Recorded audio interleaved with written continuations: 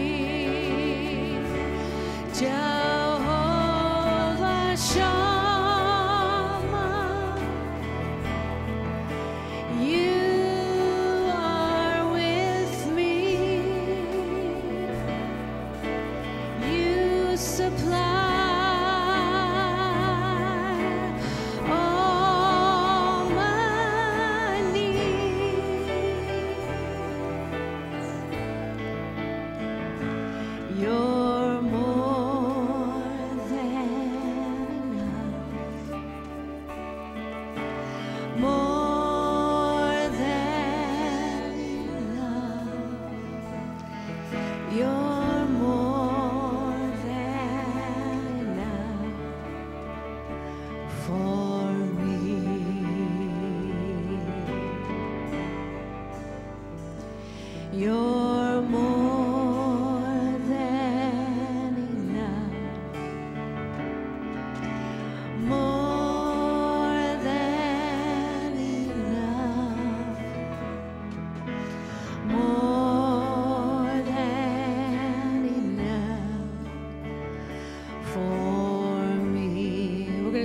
you're more than enough. Just one more time.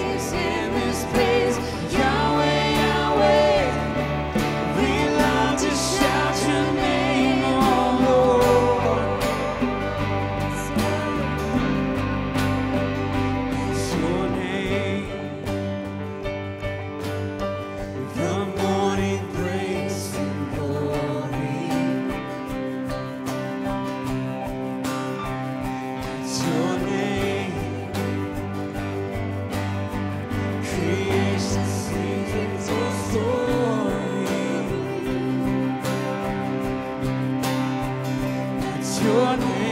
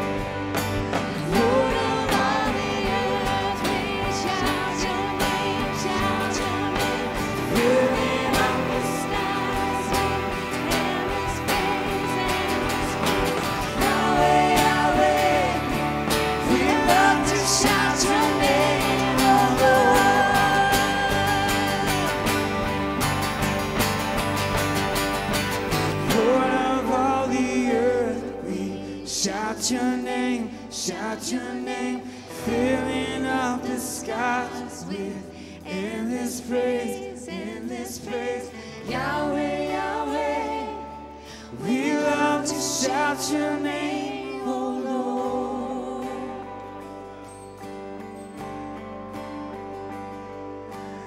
Lord of all the earth, we shout your name, shout your name, filling up the skies with endless praise, endless praise. Yahweh, Yahweh, we love to shout your name, oh Lord. Yes, Lord. Yes, Lord. Yes, Lord.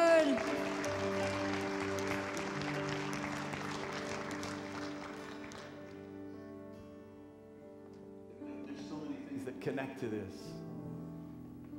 They've done studies on what they call emotional intelligence. What it tells you is that when you feel depressed, the time, close the curtains, light the candles, play so sad songs, and feel bad. It's time to get up and go do something. The cycle. Break the cycle. Break the cycle. Whenever we sing songs like this, I have the same picture in my head. I got the same microphone going off and on while I'm doing it. But well, we'll see how this one works, but I'll have a backup.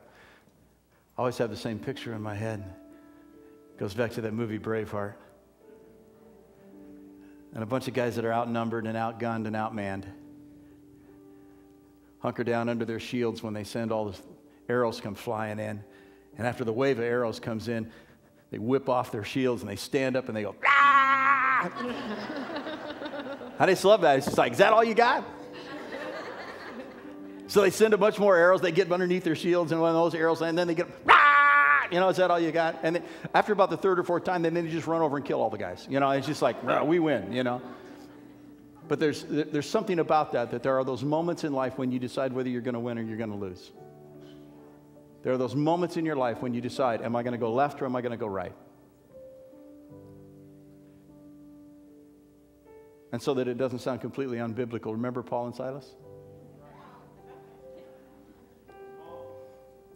I mean, I know some of you have had a, a horrendous week, an absolutely horrendous week.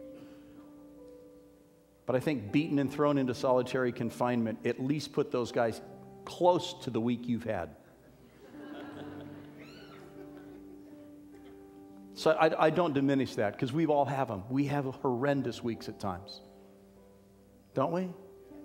We have horrendous days that feel like weeks. We all we've had them, and some of you are coming in this morning and you've had those.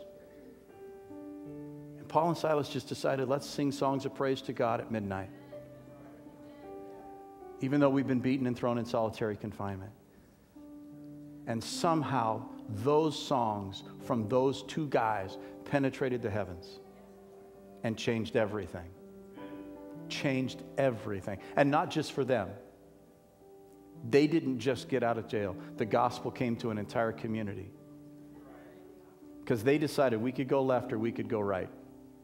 We could win or we could lose. This could go on the way it's going on or it could change. They just looked at it and, and, and made a choice.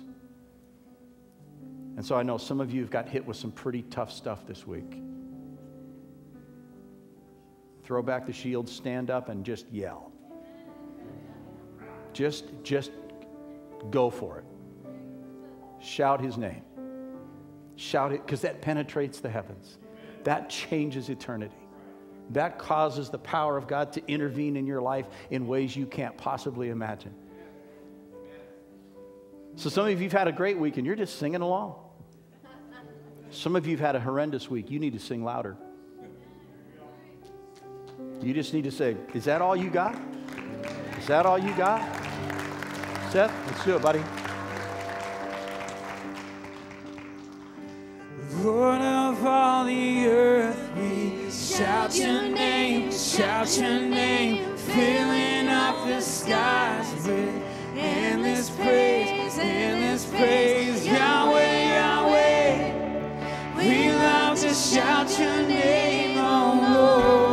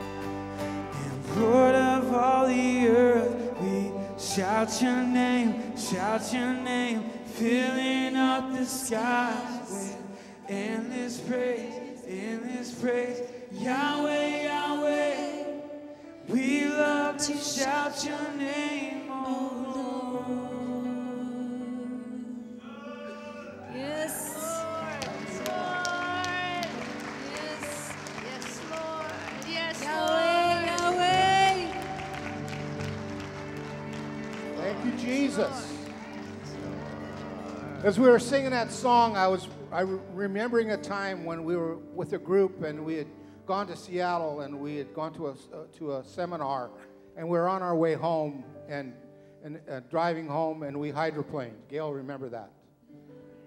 She was. She remembered that. We, we hydroplaned. We're spinning down a freeway in Seattle, like 70 miles an hour. And I'm thinking in my mind, how are we going to get out of this?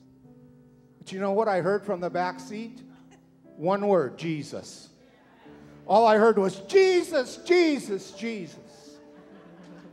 And I got to tell you, we got out of that. We sat, we've come right along the side of the road, face the right direction, and just stopped. I want us this morning, we love to shout your name. I didn't hear Jesus at all.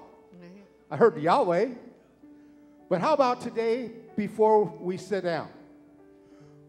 We fill the Lord with the praise, with the name of Jesus. Amen?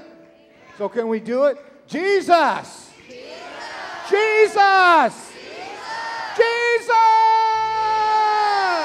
Glory! Thank you, Lord. Thank you, Jesus. Lord, as we come to this place of communion, this, this place where the cross meets together with the humanity, it's, Father, it, it's just a dynamic that we can't really understand. But one thing we do know that Jesus is the name above all other names, that the heavens shudder, and, that, and certainly Satan shakes when Jesus' name is spoken. So today, as, as we close our time of worship and we yell out the name of Jesus, we fill the air with praise of Jesus, we know that, that the demons are fleeing. And Father, whatever we're facing today, whether it's sadness or joy or whatever is happening, that at this point of the cross, you are meeting us and a, and a dynamic of change is happening. That Father God, perhaps some of us have come to the first time to this place in life. And as we leave this room today, we'll be different. Some of us have come, as Pastor mentioned, that, that maybe we're depressed or maybe we had a horrible week. When we leave today, we start a brand new week because you're with us. Father, some of us have come because we're, our bodies are broken and they need healing. You are the God of all healing. So, God, as we come to this place today, we not only can rejoice in our spirit and know that, that you are our source of all things, whether we're, we're in imminent danger or in a place of peace, the name of Jesus is always there. Always there, and we can depend upon you. So help us, Father, as we uh, raise your name in praise and worship, as we fill the air, as we fill our community. Let us not be ashamed of the gospel. Let us not be ashamed of who we are, that we are believers and we believe in a God that heals and loves and a God that gives to us first. That's who we are. Help us to live that life and to stand firm in what we believe in. In Jesus' name we pray. Amen. And everybody say, Jesus. Jesus. Amen. Say hi to about five people when you sit down. Say, Jesus loves me.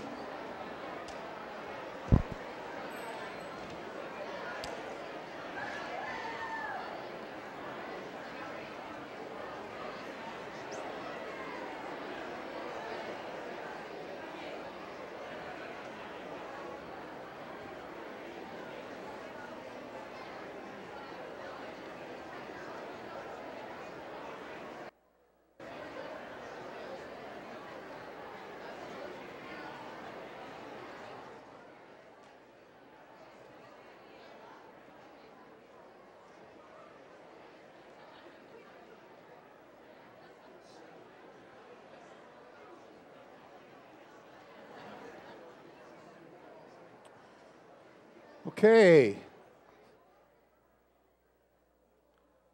I gave you your two seconds of grace.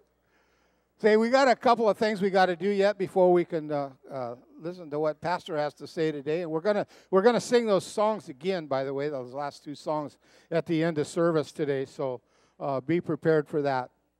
Say, uh, we have a Worldview Academy group that is going to go. I think somebody announced it last week, Seth or somebody, maybe Pastor St. John, uh, announced last week that we have a group of kids going to Worldview Academy. So we'd like for you guys to come up in the front, all of you that are going.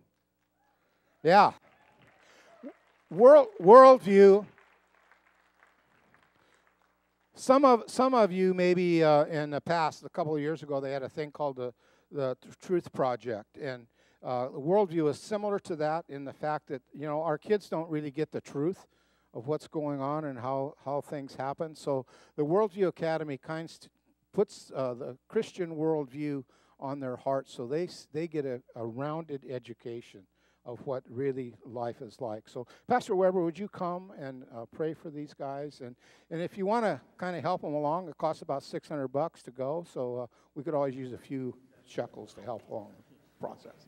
Pastor Webber. Yeah, we're really excited about what's happening here. This is, this is actually part of a discipleship leadership program that we're putting together. And this is one of the key components, uh, components of that this idea of going to Worldview Academy and, and figuring out, you know, there's, there's, a, there's more than one way to think about things. And you can either include God in your thinking or you can take him out of your thinking and try to make sense out of what's left. And unfortunately, a lot of what we see is taking God out of our thinking and trying to make sense out of what's left. We're trying to help our young people remember how to put God in your thinking as you process this stuff. And so, Worldview Academy is part of that. So, I, we don't want to just pray this morning. I, I want you to kind of, you know, get some faces in your head and, and I want you to be praying all week as, as they're going through this process of saying, okay, how do, I, how do I maybe recalibrate how the thought process works? How do I recalibrate how the decision process works? How do we put Jesus at the top of that and then use him again at the bottom to evaluate whether or not we got it right? Because there's more than one way to do things, and we, we want them to find out kind of you know the, the Jesus way to do that, which is not just because it's the Jesus way, but it's because it's right. I mean, you know, if you're going to think, you might as well think correctly. you know, otherwise, you might as well just disconnect your brain and go for it. So, you know, if you're going to think, you might as well think correctly. And so we're just, we're just, we're just moving in that direction. And so this is, this is one step of that. Some of these young people you're going to see up here in a little while, they're going to be going to Washington, D.C. on a history and culture deal to find out where their own culture came from and the fact that God's got his name carved in the stones of the places where they're trying to get rid of him. So, you know, they're going to go do that. And then you're going to see some of these same young people are going to be standing up here. They're going to be going to Cambodia because they're going to go over there and serve and do missions work. So you're going to see some of these kids a lot. But that's a good thing, right? That's a real good thing. Even you.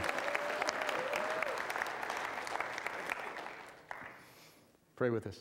Father, I thank you for the fact that you are actively engaged and involved in our minds, how we think and how we see and how we perceive and that there is a reality about life that sometimes is easily missed. Because as your word tells us, those things that are seen are temporary, those things that are unseen are eternal. And there's an awful lot of people making temporary decisions that they think are going to last for a long time because they're dealing only with what they can see. Father, I pray that you would help this group of young people and then that their influence into the lives of other young people would be significant to say, there is that which is unseen that we need to consider every day because the unseen thing lasts forever. I pray, dear Father, that you would help them to begin to build their lives around that, that they would not only just be strange and peculiar people, but they would be strange and peculiar people in the name of the Lord. That there would be a unique and wonderful thing that is happening in the leadership that they bring to their generation. So, Father, thank you for their lives, for their commitment, for the fact that they stepped up and that they or their parents or probably both put out some cash to make this happen. Father, I pray that you would meet that commitment with an incredible, incredible, incredible encounter between them and you. In your name we pray. Amen. Amen. Bless you guys.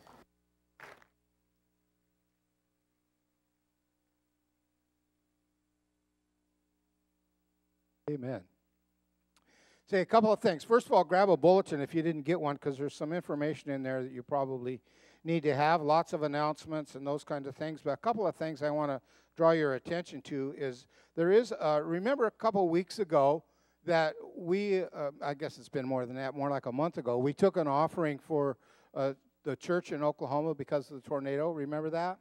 And so we sent that uh, money off to them. And in there is the letter that we received back from the pastor of that church in, uh, in Oklahoma. So uh, it's in Moore, Oklahoma, if you remember that whole thing about the tornado. So, in there, I would like for you to read that because it's a thank you letter, not to me, but to you, because you're the ones that gave and, and uh, that, that it's going to make a difference. So, thank you, first of all, for caring, and secondly, for giving to people uh, beyond yourself. And this is a thank you letter for doing that. So make sure you take advantage of that time and, and, and look in the bulletin and read that. Not during Pastor's sermon, however. Course, you could maybe as you're filling in the blanks on the other side, kind of sneak over there. But uh, anyway, there's a couple other things we need to remind you of. Uh, last couple of weeks ago, uh, Bruce was up here and talked about the 24/7 Dad. I just want to remind you that they they meet at uh, five o'clock here in the fellowship hall. Is that right, Bruce? So remind you guys about that, and then also that uh, prayer is available on Wednesdays from uh, noon to two in the prayer room in the back. Sherry, is that right? Are you ready? Are you got it all done? No, you don't. No, it's never gonna. Is it one of those things that's always gonna be evolving? Oh, okay. But we're working on it. We're working on it. Ladies, you have ice cream. I told the gal this morning at Georgia. I told her. I said, I, "Don't just bring a sign. Bring a sample." She didn't go for that. I don't know what happened. So you have to to get your sample. You have to show up on Wednesday night uh, at uh, seven o'clock, and uh, all the information's in the bulletin there or out front. So make sure you get that. And also, there's an error, a correction in the bulletin for the, the group counseling thing. It's not 3351 Redwood Avenue, it's 3551. So don't just bang on somebody's door and say, hey, I'm here. You know, uh, it might, might be a surprise. You might, you know, get a gun in your face. Who knows what'll happen? But uh, I would, because that's in the county probably. And so I would guess that you should probably get the right address, 3551 Redwood Avenue. Pastor Webber. Are we ready? You get the kids. Oh, the kids. Yeah, I got all that stuff. Caitlin's taking the junior high. Caitlin, are you gonna? How are you gonna control all those junior hires? How are you gonna do that? She can do it. Okay, Caitlin, take them away. Take them away. Kids, first through fifth grade. How come you're first? Because you know what I'm going to say. Okay. Come on, guys. Come on down. Water day. Feel like it's, let's make a deal. Water day. Water day. I, there are more of those guys sit in the balcony than sit down here, I think. It Takes them a while to get down here. They're coming. They're coming. Where's your hubby? Is he still over? He's out now. Okay. Pastor St. John's been on the road all week. I didn't know if he was back or not. So let's pray. Father, we thank you for these little ones, and we ask God that you will just uh, be with them as they gather together in their groups today. That God, you will bless them. Help them to see you high and lifted up. As we have ris- lifted your voice today, I pray that they too would lift your voice in praise and worship. And so, Father God, we just thank you for these, these little ones and ask that you will bless them, be with them, and God, uh, encourage them. In Jesus' name we pray. Amen. You guys say amen? Say amen. Oh, you can say it louder. There you go. Nathan can do it. Now, Pastor Webber. Ugh. Morning. Move on. I think St. John promised it that your kid will come home wet today. That it's uh, it's some some sort of water day. I don't know what's happening. So I don't. Yeah, I don't know. Just hook up a fire hose and hit them with it. I guess I, they're just gonna. So it's some sort of water day. I don't, I don't know what they got planned, but hopefully it all works out. And everybody comes back with all their stuff. we'll probably have about 10 new towels in the lost and found after today. That's, that's, that's probably how that's going to go. So, anyway, we'll see how that works out. Well, welcome to our uh, Summer of Songs. This is the second time we've, we've done this uh, now, and we're, we're going through and, and working off of, uh, of some of our, our songs that we sing, trying to understand maybe exactly what it is we're saying, because uh, sometimes you can sing the song and it ends up being kind of Christian karaoke because you don't know what the words mean. So it's got a nice tune and it mentioned Jesus somewhere and, and, and you can kind of sway to it. So we give it a 75, you know, and, and we, uh, we, we just kind of go along with the song. And, and, our, and our hope is, is that we can begin to understand maybe the truth of those songs and, and the reality of where they come from. And so we, we just set aside a few weeks here in the summer to do that, to look at some songs and to try to come up with the awareness of what they're about. Last, last week, we, uh, we, we, grabbed a, a, portion of that video by Louis Giglio and we, we watched a little bit of, of that in terms of how creation is singing because there's a, a, lot of imagery about uh, you know the trees clapping their hands or the, the, the, the waters roaring the name you know i mean there's these kind of poetic images. And so he, he kind of put some science around all of that to help us hear some of the sounds of the universe and how that how that fits together with our praise. And so we, we started with that last week and, and ended with that song how, how great is our god? Sing with me. How great is our god I just love that song. And, and, and, hopefully now your, your heart and your mind is expanded around that to realize that when you sing, you're not the only one singing. And um, there's angels that sing. The universe is singing. The stars are singing. And that you get to join in on that song. And so we, we talked about that. A, a lot of the songs that we sing, and, and, and in particular, we've chosen a couple of them this morning, kind of revolve around this idea of the names that are used to describe God. And, and we live in a culture where our names are basically designed so that we can differentiate ourselves from each other.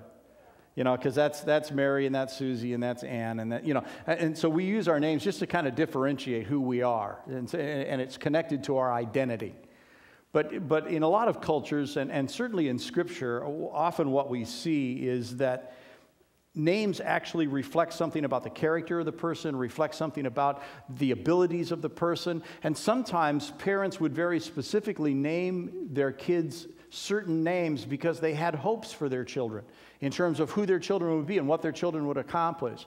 Uh, in our society, probably the closest we can get to it are nicknames.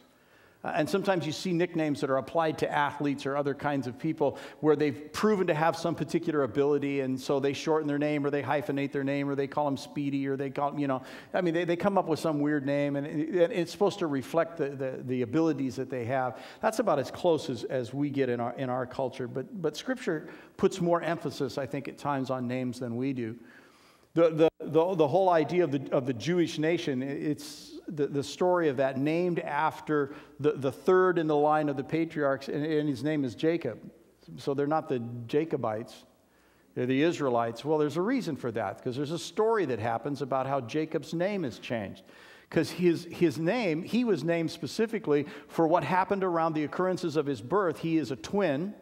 His older brother Esau was born first, and it literally says that Jacob was born hanging on to Esau's leg. But Esau got born first, and Jacob was right behind him, hanging on, trying to. And so they named him Jacob, which means to grasp. It means to grasp.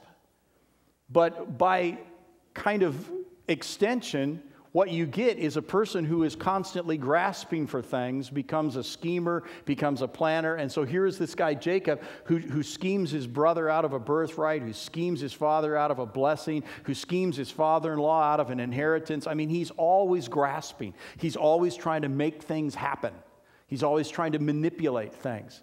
And so here comes this name that was named because of the physical events of his birth that turns out to be a prediction of how he's going to live his life. Well, he eventually tries to scheme God. And God says, let's talk about that. And so they have a wrestling match, which is always interesting to me. How can you wrestle with God? I mean, how silly is that? You know, I, have always kind of just tried to picture that, you know, just God kind of doing this once in a while, you know, and Jacob's just going for all he's worth, and God's just kind of doing this, you know, give it another try. But it says that it was all night. It was all night. And finally, Jacob grasps God, but in a different way. Instead of this grasping to try to make God do something, he just, in desperation, just reaches out and grabs a hold of God and hangs on. And then he says, God, if you don't bless me, I'm in trouble. So you can hang on to God a couple of different ways. And Jacob's a pretty good illustration of that. You can hang on to God because you're desperately trying to manipulate God into doing what you want, or you can finally recognize that you're pretty hopeless without Him and you can just reach out and hang on for all you're worth and say, God, you either bless me or I die. You either bless me or I die. And at that moment, his name was changed. I mean, other things happened, but God changed his name to Israel, which means to wrestle with God. So he goes from the one who grasps to the one who wrestles with God. And isn't it interesting that now, thousands of years later, he was the patriarch of a group of people who are still wrestling with their God? They are still wrestling with their God. trying to make sense out of it, trying to make sense out of their own history, trying to make sense out of their own culture, and trying to figure out what to do with this guy that may or may not have been their Messiah. They're still wrestling with their God. So, names sometimes have really huge significance, and significance not only for the moment, but significance for the future, and sometimes significant even for your descendants. And so, this idea of names and the name of God becomes kind of a big, big deal in Scripture. The, the most common name that is used for God in the Old Testament, it's used over 7,000 times, is, is, is a name that in your English Bible is almost always going to be translated capital L, capital O, capital R, capital D. And it is the name that we sang in the song, or at least attempted to get right when we said Yahweh. It, it's an attempt to get the name of God that's listed in Scripture, as I said, 7,000 times. It's, it's spelled in English, it's either YHVW or YHWH. You notice there aren't any vowels in there. It's a little hard to know exactly how to pronounce those four consonants. But part of what is happening in, in, that, in that name of God is that the very first commandment is what? Remember in the Ten Commandments? What's the first commandment?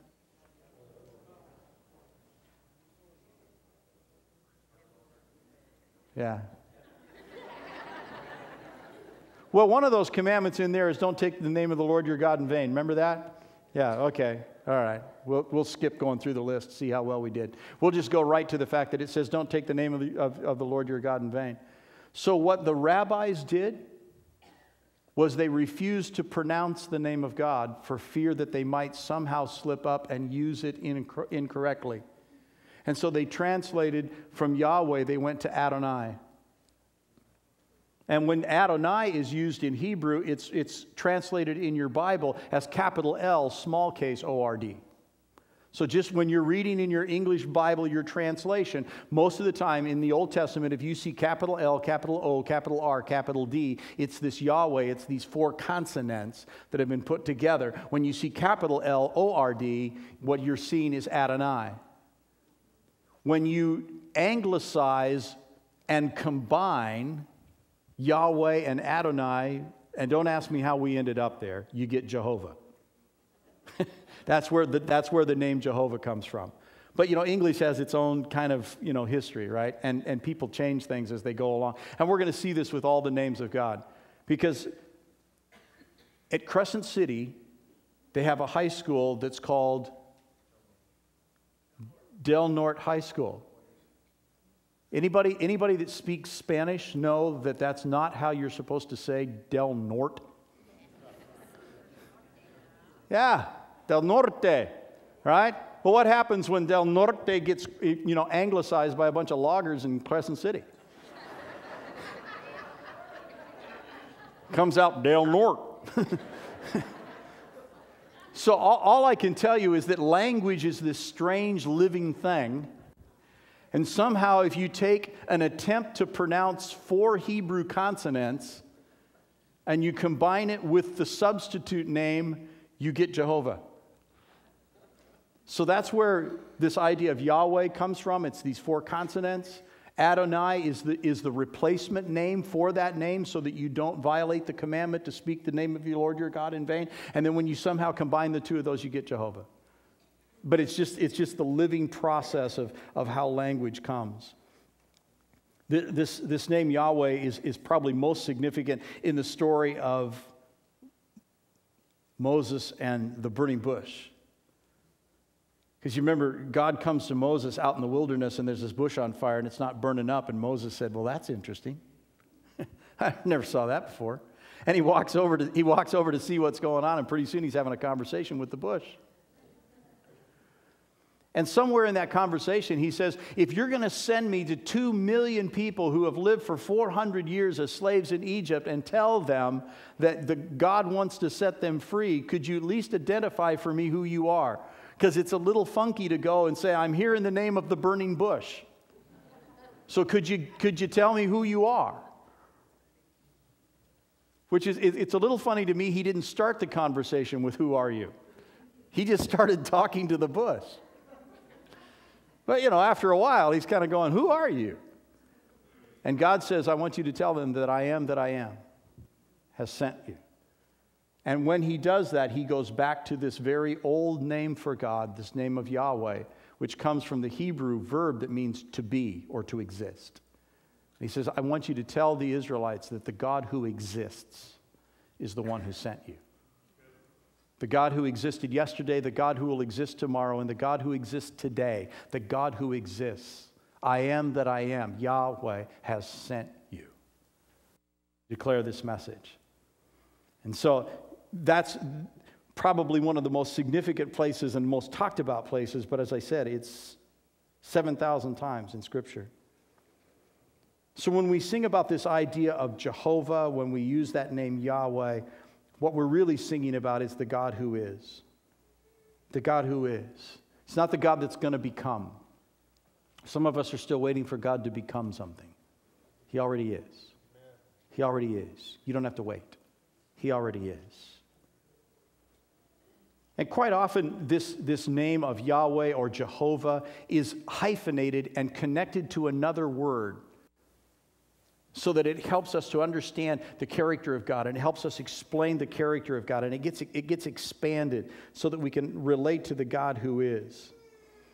So, of these two songs that we sang toward the end of our worship time, and that we're going to come back and sing again at the end of the service, and hopefully now we can sing with greater understanding.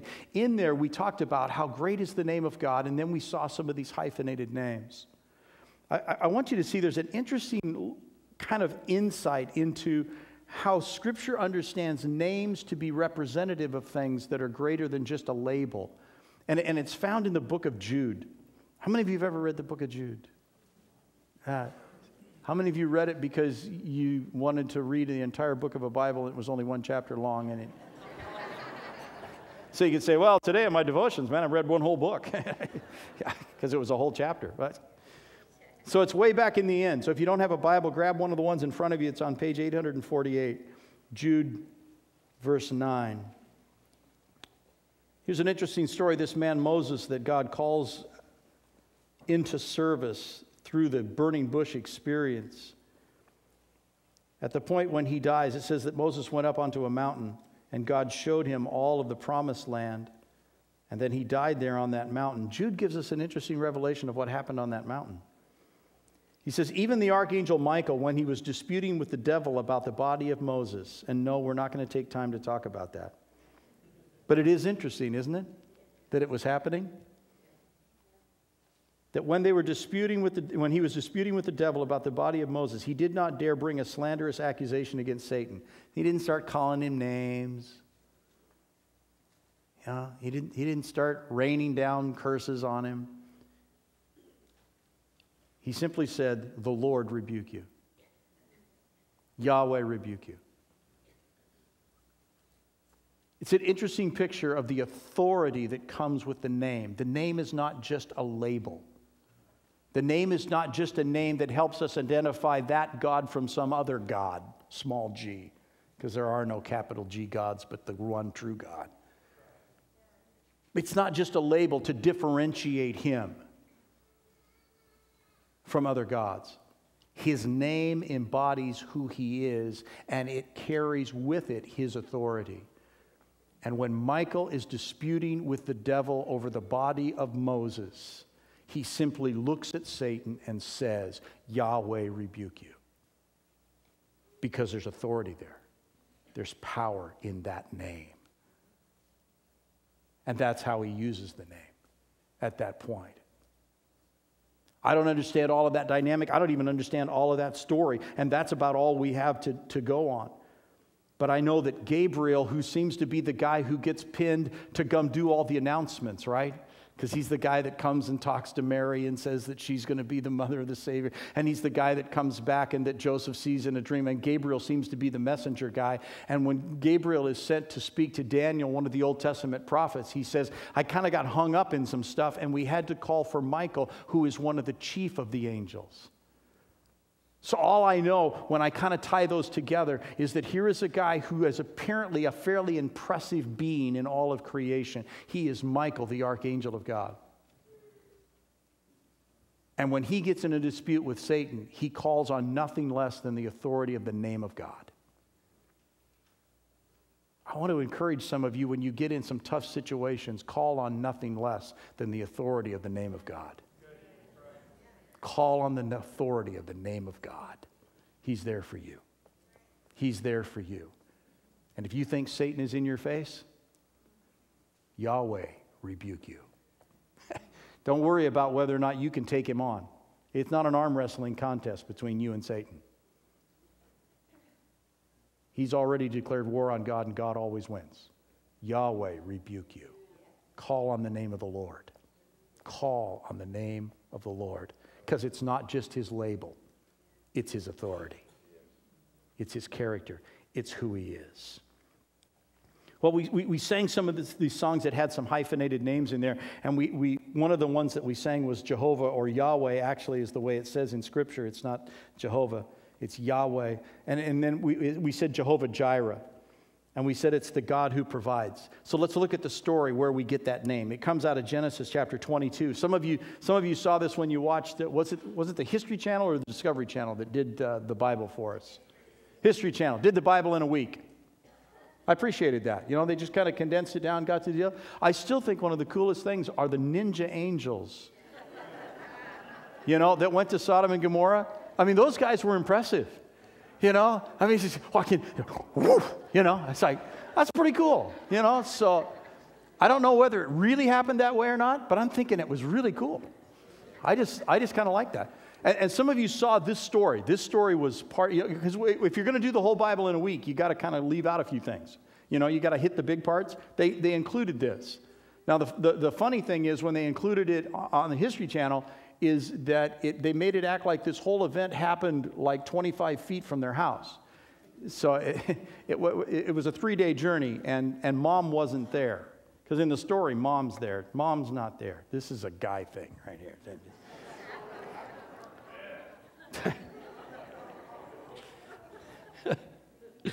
Sometime later, God tested Abraham. He said to Abraham, Abraham said, Here I am. God said, Take your son, your only son Isaac, whom you love, and go to the region of Moriah.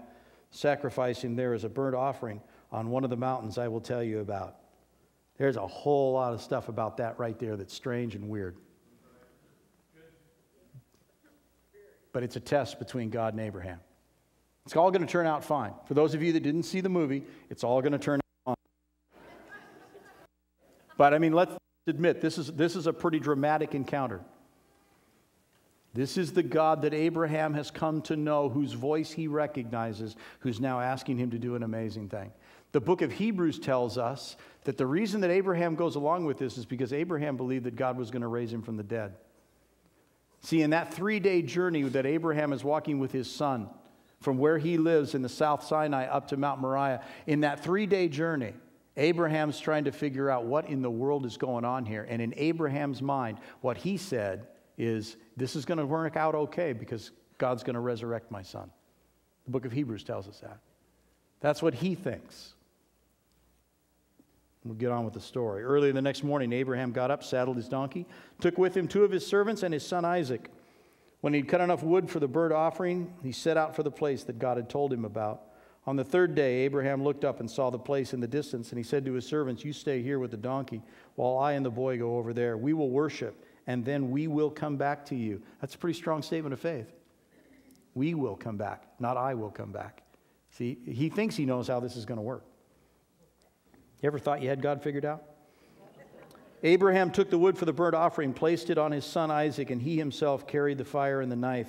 And as the two of them went on together, Isaac spoke up to his father and said, Abraham, yes, my son. The fire and the wood are here, Isaac said, but where's the lamb for the burnt offering? Abraham said, God himself will provide the lamb for the burnt offering, my son. What a great prophecy about Jesus Christ. And the two of them went on together. When they reached the place that God had told him about, Abraham built an altar there and arranged the wood on it. He bound his son Isaac, laid him on the altar on the top of the wood, and then he reached out his hand, took the knife to slay his son. And the angel of the Lord, see that capital L O R D, the angel of Yahweh, called to him from heaven, Abraham, Abraham. Here I am, he replied. Do not lay a hand on the boy, he said. Do not do anything to him. Now I know that you fear God because you have not withheld from me your son, your only son. And Abraham looked up from there, and in the thicket he saw a ram that was caught by its horns. He went over and took the ram, sacrificed it as a burnt offering instead of his son. So Abraham called the place Yahweh, the Lord. Yahweh will provide. Jehovah Jireh is the, how we put it into the song. And to this day it is said, On the mountain of the Lord it will be provided. This Jehovah Jireh, it's actually Yahweh Rahab, but it, you know, it gets worked out through language, literally means the God who sees. The God who sees. That's literally what it means. The implication is that he sees and he cares. He sees and he sympathizes. He sees and he understands. He sees and he provides. So that's, that's how it gets translated to us is this idea that God sees, He knows, He understands, He's concerned, He cares, and He provides. He responds to what He sees. It's an interesting thing. Sometimes in my prayers, I'll stop and I'll just say, God, you don't need me to fill you in, but I need to get it off my chest. And I start to explain to God what's going on. You ever explain to God what's going on? You ever do that? Just in case he was, you know, wasn't up to speed on what was happening? You uh, know, just in case he didn't know how serious it really was, you just, you just kind of, you know, God, just in case you miss something, and you start to fill him in. And here's Abraham reminding us he's the God who sees. He doesn't really need an explanation from us but I found he's willing to sit and listen to my version of truth because that's all it ever is.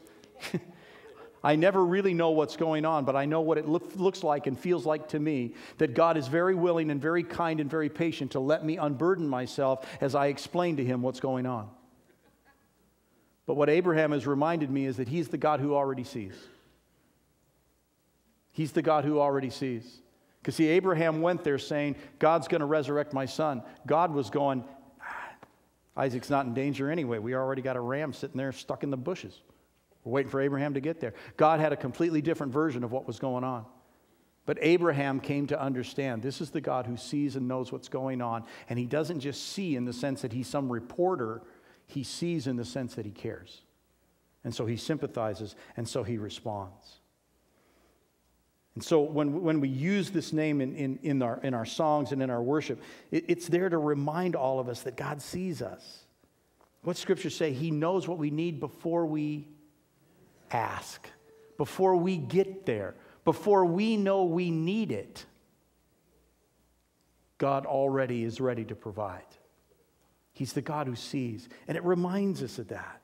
And he understands, he comprehends, he, he provides what is needed. I mean, what does Scripture say? That he provides our needs according to what?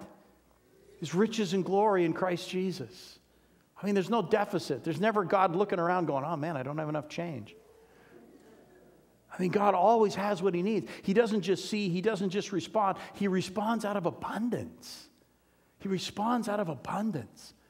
I think it's one of the toughest things for us to grasp is that God responds out of abundance because every decision we make is made out of limitation.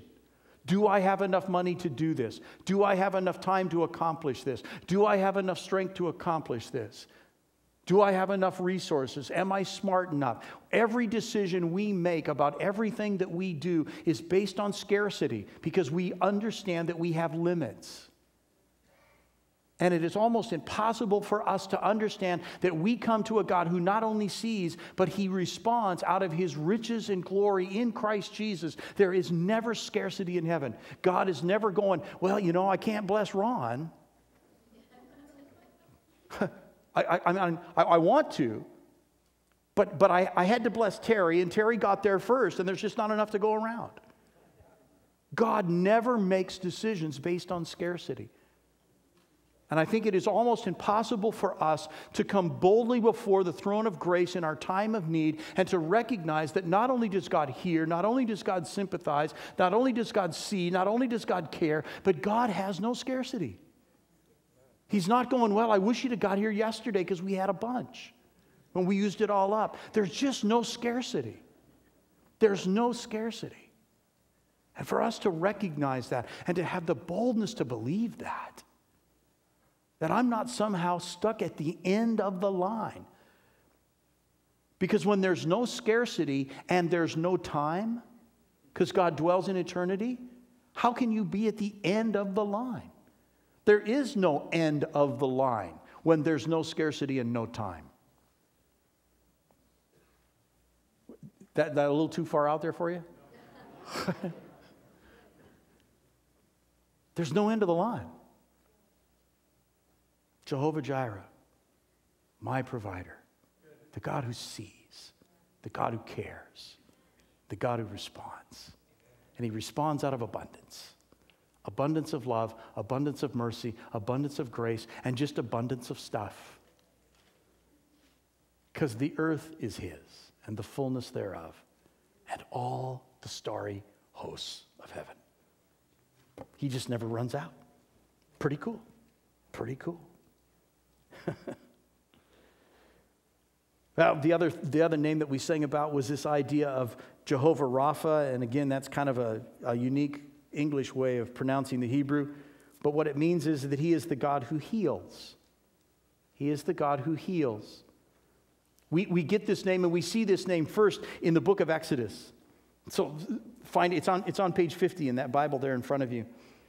Exodus chapter 15, verse 22 through 27. This is what immediately happens after the children of Israel go through the Red Sea.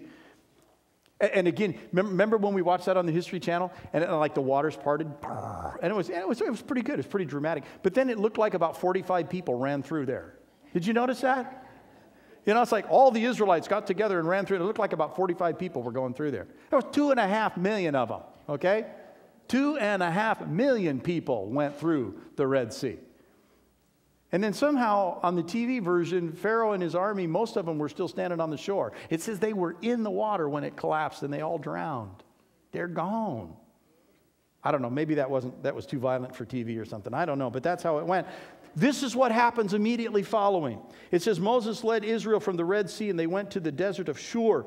For three days they traveled in the desert without finding water. How many of you know that two and a half million people who are shepherds, who have animals with them, that three days in the desert with two and a half million people and all their animals without water is a big deal.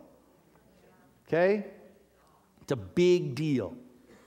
I mean, we're running around. Half of you here got your own water this morning, you know, because, I mean, after all, you know, it's a long ways from the drinking fountain to where you're seated. You might dry out between time, you know, so you had to bring your own water with you, you know, just, just to get to your get to your seat, you know. Two and a half million people, three days, nada big deal. When they came to Marah, they couldn't drink its water because it was bitter. That only makes the situation worse. You finally find some water and you can't drink it. Editorial note that's why it's called Marah, bitter water. So the people who had great faith in God yelled the name of Yahweh. Oh, no. So the people grumbled against Moses. Oops. What are we to drink? So, the, so then Moses cried out to Yahweh, and Yahweh showed him a piece of wood, and he threw it into the water, and the water became sweet. And there Yahweh made a decree and a law for them, and there he tested them. He said, If you listen carefully to the voice of God, your God, and you do what is right in his eyes, if you pay attention to his commands and you keep all of his decrees, I will not bring on you any of the diseases I brought on the Egyptians. That's pretty fresh in their memory, those 10 plagues. For I am the Lord who heals you. I am the Lord who heals you. Here's God just basically saying there's two sides to this equation. You can get on one side or the other. He said, I led you through that water to great victory. I led Pharaoh into that water to great destruction. I brought you to a place where the water was either sweet or it was bitter. It just depended on whether or not I got involved in the situation. We need to recognize that in every situation in our life, we have the opportunity to get on the right or the wrong side. We can get on the side of the bitter water. We can get on the side of the water that destroys us. Or we can get on the side of the water that leads us to freedom. And we can get on the miraculous side of the water that is sweet and pure. God is involved in history. And we decide which side of history we're going to be standing on. And he says, I just want you to remember that if you will remember my words and keep my commands, we can pass through the waters and we can turn the bitter situations to sweet because I'm the God that heals. I'm the God that heals. Which, which side of the situation are you going to get on? And I know some of the situations are really, really tough, and it doesn't look like there's a good side.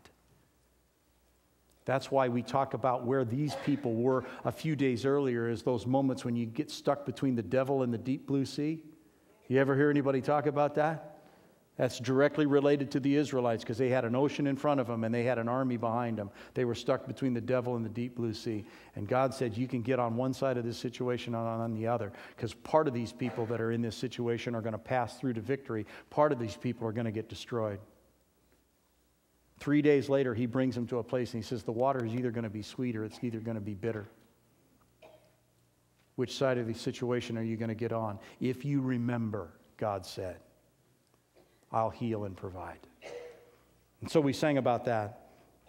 And then we sang about a reference to God that is really, really kind of hidden away. We talked about Jehovah Shammah, the God who is there. And it comes to us out of the very last verse in the book of Ezekiel. Now, some of you read the book of Jude. How many of you have actually read the book of Ezekiel? Tell me that's not strange.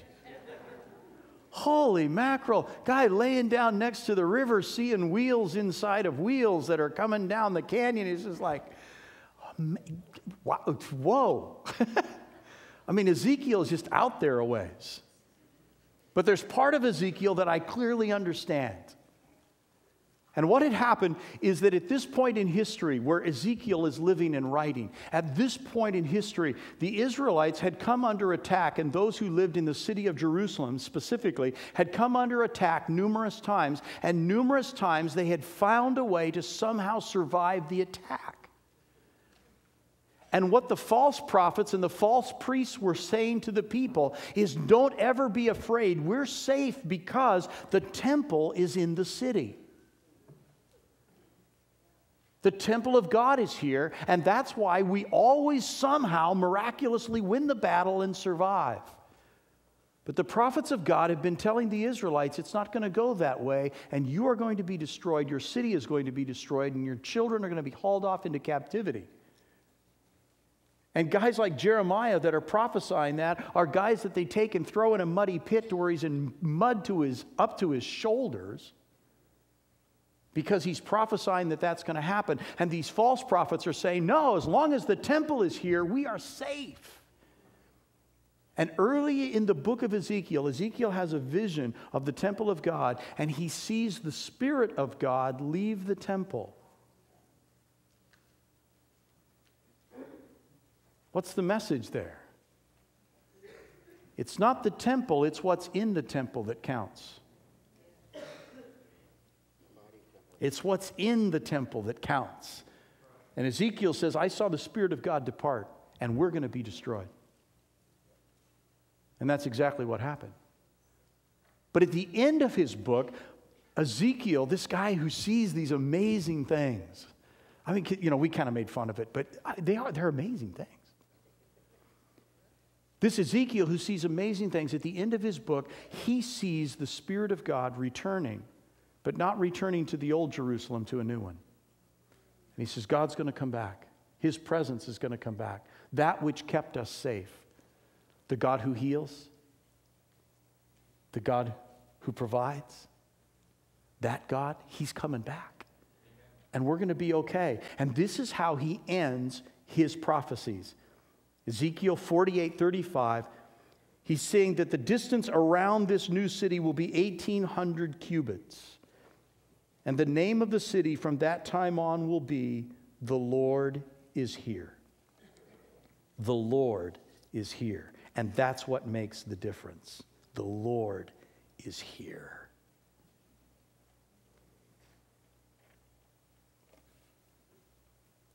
That's the concept that the Apostle Paul reaches out and grabs when he talks about the fact that do you not know that you are the temple of the living God? He says that twice in his letter to the Corinthians. He says at one time in the singular, Don't you know, Keith, don't you know that you are the temple of the Holy Spirit? And the same Spirit that raised Jesus Christ from the dead dwells in you, Keith. Then he uses it plural. He says, don't, don't you all know that you are, that we are the temple of the living God? and that He dwells with us. I want you to take that name of God, the God who is there, the God who is with us, the God who is here, that name that is used finally in Ezekiel and used very seldom in any other verses. What does that mean? It means for us exactly what it meant for Israel that the reason Jerusalem was safe for so many years against so many odds was because the Spirit of God did dwell in that temple. And the thing that made that temple vulnerable is when the Spirit of God left. But I'm telling you that if you, in fact, are the temple of the living God, if we, and not just we Parkway, but we, the church of Jesus Christ, if we are the temple of, of the Holy Spirit and He dwells within us, what does that imply for us about our security, about our safety? What should that do for us in terms of our confidence and in terms of our courage?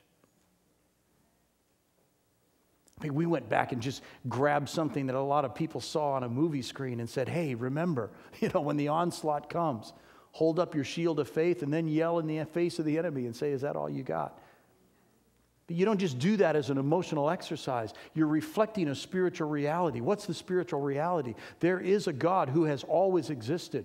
He's existed in past, he's ex- he will exist into the future, and he exists now. And that God is the God who sees and provides. That is the God who heals. That is the God who is here. And when he is here, I am okay. I am okay. That's how King David can say, though a thousand would fall to my left and 10,000 would fall to my right, I will lay down and I will go to sleep and I will wake up.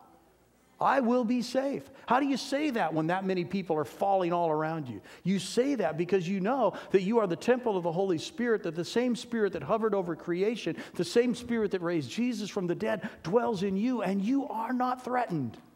You are safe. You are secure in Him. And it's not based on the size of the armies. I mean, look at all the battles that Israel won almost all of the battles that they won, they were outnumbered. When they thought they had the significant army to win, is when they lost. God was always having to remind them, ah, we don't need that many of you. We need a lot of me, but we don't need that much of you. In fact, the more of you we have, the less it works out for the good. Because you just mess it up. What we need is more of me and less of you. Right? I mean, look at all the stories. Some of you don't have any reference because you haven't read those stories. But for those of you that read those stories, look at all the times when it's just God saying, let's just get less of you and more of me because that's how we win the battles.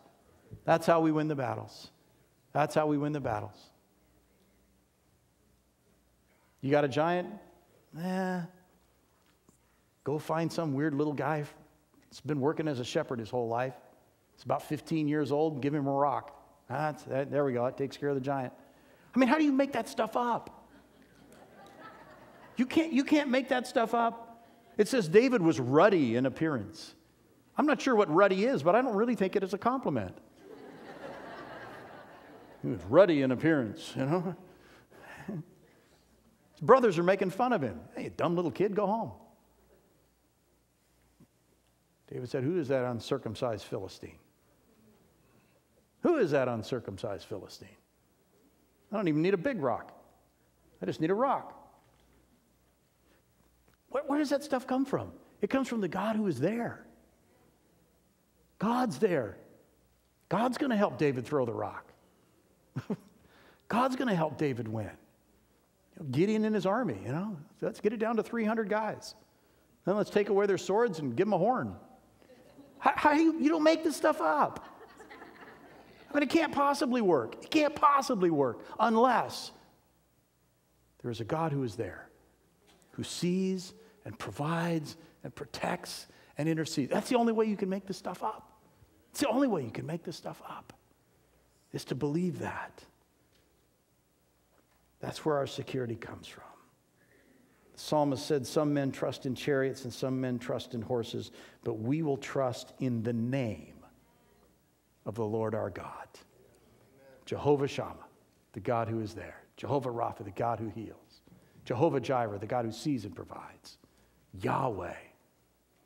The next time you come up between the devil and the deep blue sea, the Lord rebuke you. Call on the name of the Lord. Call on the name of the Lord.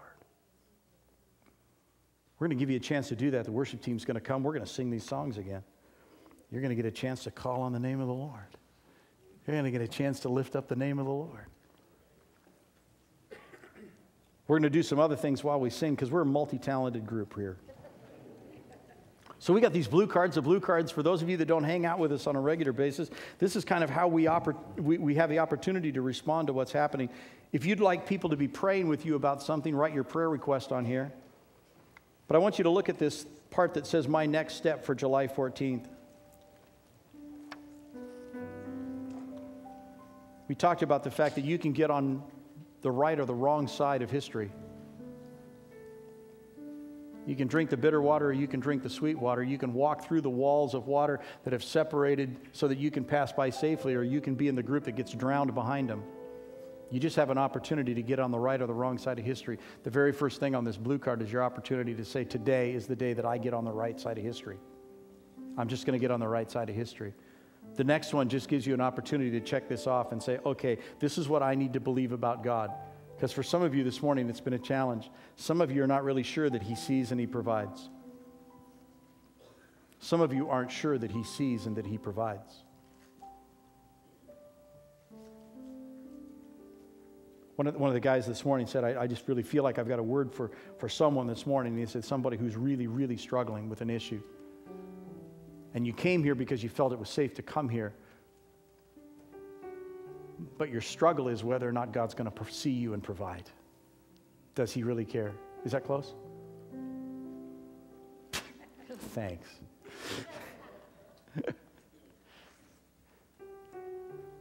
God sees and He'll provide. He sees and He'll provide. He knows the brokenness, He knows the pain, He knows what it feels like to be where you are. He is touched by the feelings of our infirmities. He is touched by the feelings of our infirmities. I love that. He's not touched by the facts of our infirmities. He's not touched by the facts of our weakness. He's touched by the feeling of that. So I'm glad he understands all the facts, but he's touched by the feeling of that. And Jesus is here and he feels what you feel. He knows what you're going through. But he sees and he provides. He's asking you to trust him. He's asking you to call on the name of the Lord. He's asking you to do that. As we sing this morning, you're going to have an opportunity to do that. And I want to give you the freedom, but I also want to give you the challenge. Respond to what you're saying. Respond to what you're saying. Move toward God. You may want to kneel right where you are. You may want to walk up here to the front and say, Yeah, in the midst of what I'm going through, I'm going to respond. I'm going to believe that God sees. I'm going to believe that God hears. I'm going to believe that He provides. Some of you need to believe that He's the God who heals. That He's the God who heals. And there's some tough stuff. There's some tough stuff. We were talking this morning. Your wife's down with the daughter, and she's doing chemotherapy, and your daughter in law is here in town. And the doctor said, We're done. I like the fact that God isn't done. He's the God who heals. It's the God who heals. And today you can either lift up the name of God in the universe and say, You are Jehovah Jireh and you are Jehovah Rapha. Or you can crawl under the rock of despair and say, Ah, I guess it's over. It's not over till God says it's over. The other thing you can check there I need to believe that He is the God who is there. Because some of you are firmly convinced that He's the God that's going to show up someday. You just don't think He's going to be there today. Yeah, heaven will be there, and sooner or later I'll get to that, and it'll all turn. But you don't believe that He's the God that's here right now. You don't think He's the God that's here right now. Do you not know that you are the temple of the Holy Spirit. And that the same Spirit that raised Jesus from the dead dwells in you. It doesn't get any better than that. It doesn't get any better than that. Do you not know? As we sing these songs this morning, I hopefully now you have a little more information about what they mean, but hopefully you have faith to believe what it is that they mean and that you can begin to respond. So the ushers are going to collect our blue cards and they're going to collect our offerings. They're going to bring them back up here, and at some point we're going to pray and we're going to say, God, wow, this is a tough week to believe that you're the God that heals. But you are Jehovah Rapha. And I didn't make that up. You declared that to be your own name. And in the face of what I face, the Lord rebuke you. The Lord rebuke you. So figure out where your point of faith is and mark it on there as an act of faith. And let us bring it up here and pray. As the ushers come to serve us. Let's sing. Let's sing. Jehovah Jireh,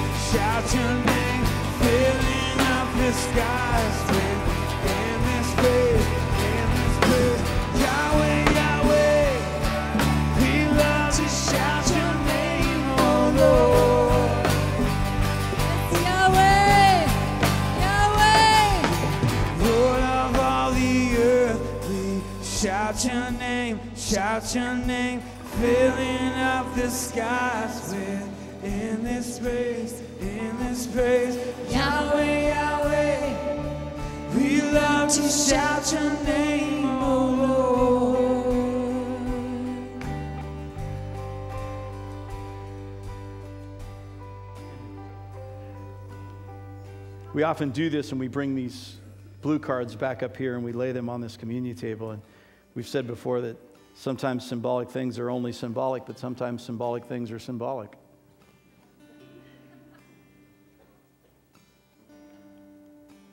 I, I just, I just want to give some of you that courage and permission. If you really mean what you wrote on that card, I, I, I would encourage you to bring yourself to the communion table, not the card. Just feel free to step out and do that. We're going to sing this song again, and if I, I just want to, I just want to encourage you to do that. If you would like to do that, you know, the, the cool thing is that they, like, they don't want you using God's name at work and stuff, but they don't know about Yahweh. you know, so you know, you start talking about Jesus at work, you know, and somebody might get offended, you know. No, no, ah, all right. Just call out the name Yahweh. They, they won't know what's going on anyhow. You can lift up his name wherever you are. But, but if, if, if it's significant for you, eh, don't do it because I said it. If it's significant for you to bring your own card up here before we pray, I, I'm just, I just would encourage you to do that. We're just going to sing it again. Go for it, Seth. Let's do it, buddy. Lord of all the earth, we Shout your name, shout your name, filling up the skies with in this place, in this place, Yahweh, Yahweh. We love to shout your name, oh Lord.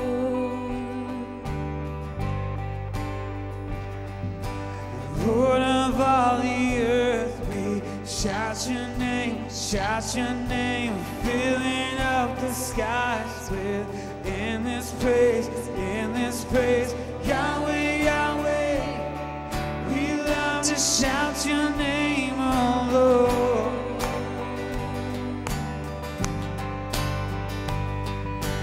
Lord of all the earth, we shout your name, shout your name, filling up the skies with in this praise, in this praise, Yahweh, Yahweh. We love shout your name, oh Lord.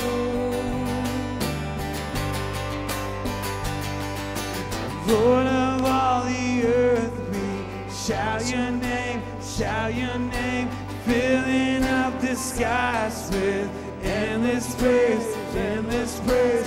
Yahweh,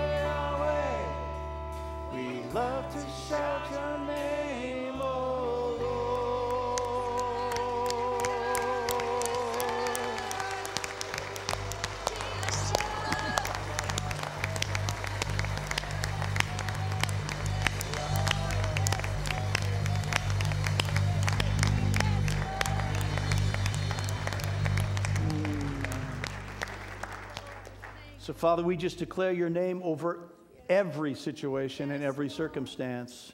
Father, in the midst of those things that are overwhelming to us, in those midst of those things that are fearful to us, in the midst of those things, God, that seem too great, we simply say, We will lift your name above those things. You are the name above every name.